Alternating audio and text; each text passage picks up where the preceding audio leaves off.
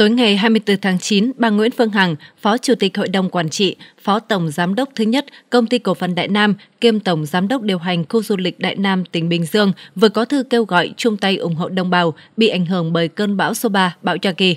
Theo nội dung thư, trong khoảng thời gian vào các ngày ngày 29 tháng 9, ngày 6 tháng 10, ngày 13 tháng 10 và ngày 20 tháng 10, khu du lịch Đại Nam sẽ hoàn toàn miễn phí vé vào cổng, vé vào các dịch vụ vui chơi như khu biển, khu vườn thú, khu trò chơi, khu trường đua, xe điện, phục vụ di chuyển cho tất cả người dân đến tham quan vui chơi thưởng lãm. Đặc biệt vào lúc 18 giờ tới 22 giờ các ngày trên sẽ diễn ra chương trình nghệ thuật sân khấu hóa, hoạt động thể thao đặc sắc và giao lưu trực tiếp với CEO Nguyễn Phương Hằng tại sân khấu khu vực Trường đua Đại Nam. Nội dung thư kêu gọi của bà Nguyễn Phương Hằng, đây là một dịp đặc biệt không chỉ để người dân tham quan thưởng lãm, thưởng thức những tiết mục nghệ thuật, các hoạt động vui chơi thể thao hấp dẫn tại khu du lịch Đại Nam mà còn là lời kêu gọi chung tay chung sức, chung một tấm lòng để thể hiện tình dân tộc nghĩa đồng bào, cùng đóng góp vào các hoạt động thiện nguyện hỗ trợ đồng bào lũ lụt tại miền Bắc chịu nhiều thiệt hại sau cơn bão số 3, bão Yagi. Cũng theo thư kêu gọi này, thông qua hình thức quyên góp tùy lòng hảo tâm của mỗi người, thùng quyên góp sẽ được đặt tại các khu vực trong khu du lịch Đại Nam. Tất cả số tiền thu được từ chương trình này sẽ được chuyển trực tiếp đến Ủy ban Mặt trận Tổ quốc Việt Nam để hỗ trợ đồng bào bị ảnh hưởng bởi cơn bão số 3 bão Yagi thuộc các tỉnh thành phía Bắc. Ngoài giữ chức vụ lãnh đạo công ty Đại Nam và khu du lịch Đại Nam, bà Nguyễn Phương Hằng còn là chủ tịch kiêm tổng giám đốc một công ty bất động sản và là cổ đông của một số doanh nghiệp khác. Sau khi ra tù đứng 5 ngày, bà Nguyễn Phương Hằng được bổ nhiệm giữ chức vụ lãnh đạo tại công ty cổ phần Đại Nam và tổng giám đốc điều hành khu du lịch Đại Nam. Ông Huỳnh Uy Dũng, chủ tịch hội đồng quản trị công ty, đồng thời là chồng của bà Hằng, ký văn bản bổ nhiệm này – Cụ thể theo quyết định, bà Nguyễn Phương Hằng được Chủ tịch Công ty Đại Nam phân công giải quyết các vấn đề thuộc chức năng và quyền hạn của Phó Chủ tịch Hội đồng Quản trị, Phó Tổng Giám đốc thứ nhất kiêm Tổng Giám đốc điều hành khu du lịch Đại Nam. Quyết định có hiệu lực từ ngày 24 tháng 9. Ngoài vai trò tại công ty cổ phần Đại Nam và khu du lịch Đại Nam, bà Hằng còn có vai trò quan trọng tại một số công ty khác – Cụ thể, bà Hằng giữ chức vụ là chủ tịch kiêm tổng giám đốc và là người đại diện theo pháp luật công ty trách nhiệm hữu hạn một thành viên Christina, thành lập vào tháng 12 năm 2020. Công ty này có trụ sở tại quận 1, thành phố Hồ Chí Minh. Ngành nghề kinh doanh chính là kinh doanh bất động sản, quyền sử dụng đất thuộc chủ sở hữu, chủ sử dụng hoặc đi thuê, vốn điều lệ là 20 tỷ đồng. Ngoài ra, bà Nguyễn Phương Hằng còn là cổ đông của nhiều công ty khác. Chẳng hạn, bà sở hữu 20% cổ phần, tương đương với số vốn góp là 9 tỷ đồng, tại công ty cổ phần Globe Đại Nam, trụ sở tại thành phố Thủ Dầu Một, tỉnh Bình Dương. Doanh nghiệp này thành lập vào tháng 9 năm 2020 với ngành nghề chính là sản xuất găng tay do ông Huỳnh Uy Dũng làm chủ tịch, vốn điều lệ là 180 tỷ đồng. Ông Dũng sở hữu 30% cổ phần, tương đương góp 13,5%. Bên cạnh đó, bà Hằng cũng là cổ đông sáng lập công ty cổ phần xử lý nước thải Hằng Hữu Huỳnh, trụ sở tại thành phố Thủ Dầu Một, tỉnh Bình Dương, thành lập vào tháng 10 năm 2018 với vốn điều lệ là 99 tỷ đồng. Doanh nghiệp này có ngành nghề chính là thoát nước và xử lý nước thải, gồm nước thải sinh hoạt, nước thải công nghiệp thông thường và nước thải nguy hại. Tại công ty này, bà Nguyễn Phương Hằng sở hữu hơn 15% cổ phần, tương đương số vốn góp là 15 tỷ đồng. Ông Dũng cũng sở hữu tỷ lệ cổ phần tương tự. Bà Hằng vừa mới ra tù được 5 ngày từ ngày 19 tháng 9, sớm hơn so với bản án do chấp hành tốt nội quy. Bà bị phạt tù về tội lợi dụng các quyền tự do dân chủ, xâm phạm lợi ích của nhà nước, quyền và lợi ích hợp pháp của tổ chức cá nhân. Trước khi đi tù, bà Nguyễn Phương Hằng là Tổng Giám đốc Công ty Cổ phần Đại Nam.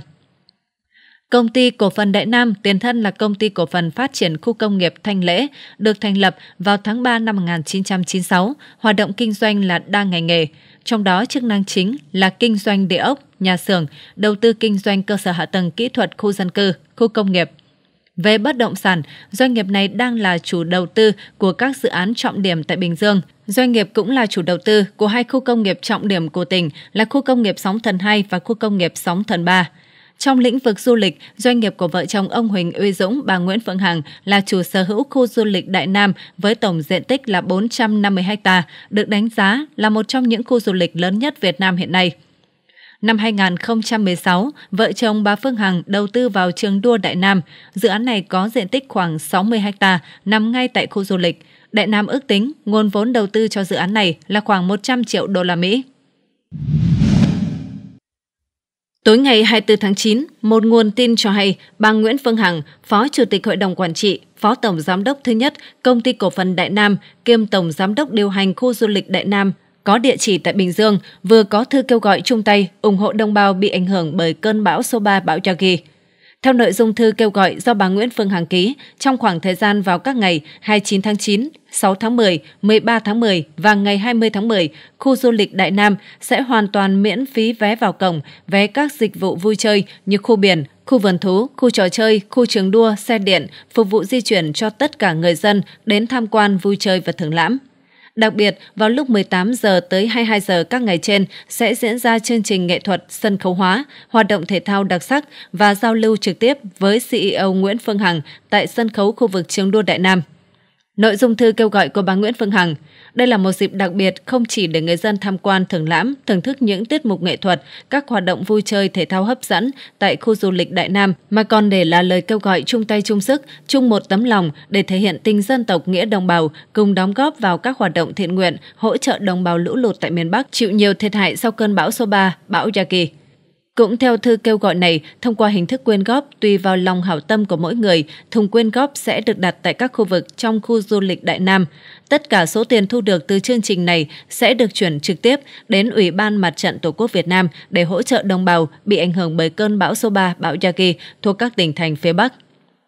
Như đã đưa tin, cũng trong ngày hôm nay, bà Nguyễn Phương Hằng được phân công đảm nhiệm chức vụ Phó Chủ tịch Hội đồng Quản trị, Phó Tổng Giám đốc thứ nhất Công ty Cổ phần Đại Nam, kiêm Tổng Giám đốc điều hành khu du lịch Đại Nam có địa chỉ tại Bình Dương.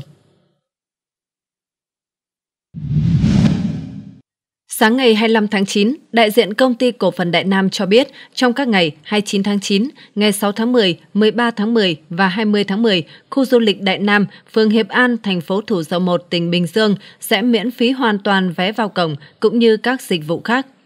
Lãnh đạo công ty thông tin, đây là ý tưởng của bà Nguyễn Phương Hằng sau khi quay trở lại điều hành khu du lịch Đại Nam. Theo lãnh đạo này, khi khách đến tham quan vui chơi, xem các chương trình biểu diễn nghệ thuật miễn phí tại đây, khu du lịch có bố trí các thùng quyên góp để mọi người có thể đóng góp tiền ủng hộ cho người dân bị ảnh hưởng bởi cơn bão số 3. Số tiền này sau đó sẽ được khu du lịch Đại Nam truyền cho Ủy ban Mặt trận Tổ quốc Việt Nam tỉnh Bình Dương.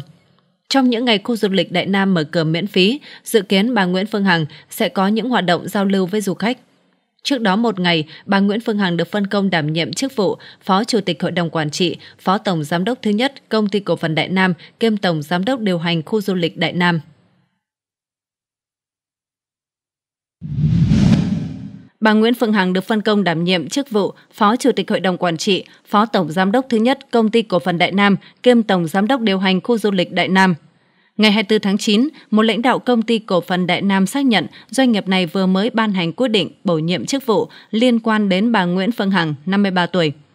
Theo đó, bà Nguyễn Phương Hằng được phân công đảm nhiệm chức vụ Phó Chủ tịch Hội đồng Quản trị, Phó Tổng Giám đốc thứ nhất Công ty Cổ phần Đại Nam, kiêm Tổng Giám đốc điều hành khu du lịch Đại Nam bà Nguyễn Phương Hằng được Chủ tịch Hội đồng Quản trị Công ty Cổ phần Đại Nam phân công giải quyết các vấn đề thuộc chức năng và quyền hạn của Phó Chủ tịch Hội đồng Quản trị, Phó Tổng Giám đốc thứ nhất kiêm Tổng Giám đốc điều hành khu du lịch Đại Nam. Được biết, khu du lịch Đại Nam có tổng diện tích lên đến 450 ha và được mệnh danh là khu du lịch rộng lớn nhất vùng Đông Nam Á. Khu du lịch này là sự kết hợp độc đáo giữa du lịch tâm linh và loại hình vui chơi giải trí, gồm có trường đua, vườn thú, biển Đại Nam cùng các khu trò chơi hấp dẫn khác còn công ty Đại Nam là chủ đầu tư các khu công nghiệp Sóng Thần 2, 3 và nhiều khu dân cư tại tỉnh Bình Dương, Bình Phước, vân vân. Ông Huỳnh Uy Dũng, tức Dũng Lò Vôi, là chồng của bà Nguyễn Phương Hằng, là người sáng lập công ty cổ phần Đại Nam và sở hữu 49% cổ phần công ty. Hiện ông Dũng là chủ tịch hội đồng quản trị kiêm tổng giám đốc doanh nghiệp này. Trước đó, Tòa án Nhân dân cấp cao tại thành phố Hồ Chí Minh đã tuyên án phúc thẩm đối với vụ án Nguyễn Phương Hằng. Tòa tuyên phạt bà Nguyễn Phương Hằng 2 năm 9 tháng tù. Các bị cáo còn lại bị tuyên từ 1 năm đến 2 năm tù, cùng về tội lợi dụng các quyền tự do dân chủ, xâm phạm lợi ích của nhà nước, quyền và lợi ích hợp pháp của tổ chức cá nhân. Bà Nguyễn Phương Hằng bị khởi tố bắt tạm giam từ ngày 24 tháng 3 năm 2022. Nếu chấp hành án phạt tù đúng quy định, phải đến cuối tháng 12 năm 2024, bà Hằng mới được ra tù. Tuy nhiên, đến ngày 19 tháng 9, bà Nguyễn Phương Hằng được ra tù trước thời hạn 3 tháng do quá trình cải tạo tốt.